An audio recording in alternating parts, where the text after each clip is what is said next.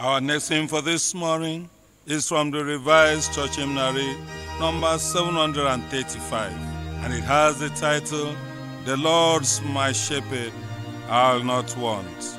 This metrical psalm was composed by Francis Rous, who was born in 1579 at Halton, Cornwall, England.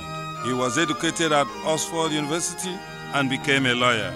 He also was elected into the parliament representing Truro in Long Parliament. Francis Rous was a member of the High Commission saddled with examining and licensing candidates to the Ministry of Church of England. He held other appointments under King James and under King Charles I of England. Francis Rous was appointed the provost of the famous Eli School, Eton College. He died on January 7, 1659, and was buried in the chapel of Eton College. Please sing this metrical psalm with the senior choir.